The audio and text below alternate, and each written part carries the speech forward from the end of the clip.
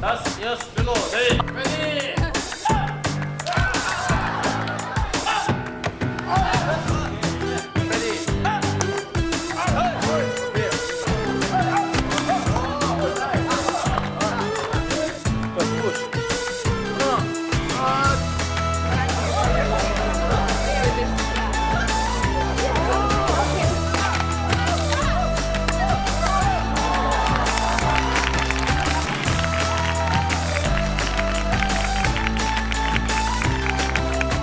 Um, it was good.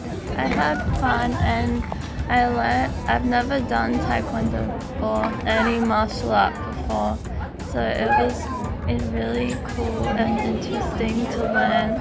I thought it was really fun. I never did martial arts before, so it was um, something new I got to experience, which was pretty cool.